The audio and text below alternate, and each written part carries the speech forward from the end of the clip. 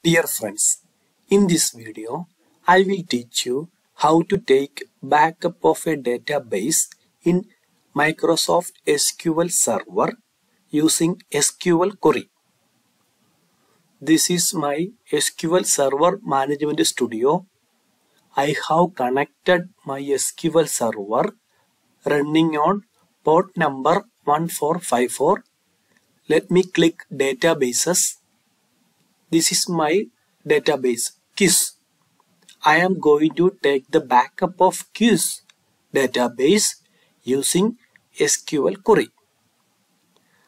Now let me show you the location where I am going to save my database backup. In C drive, I have a folder named db backup. I am going to take the backup of quiz database in this location. First, let me write the SQL query to take the backup. Backup database quiz to disk equal to single quotes open. Now we have to specify the location.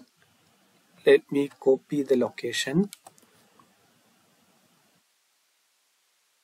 Paste here. Backward slash. Now we have to give the name for our backup. quiz underscore. Let me give today date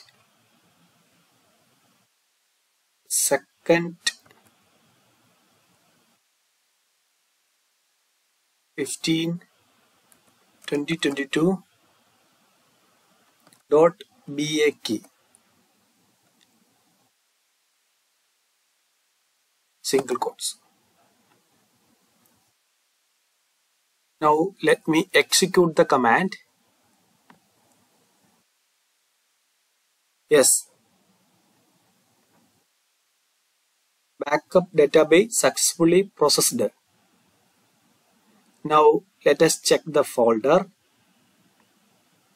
Yes, we got our quiz database backup as we have given in SQL query quiz underscore 0215 2022 dot BAK file.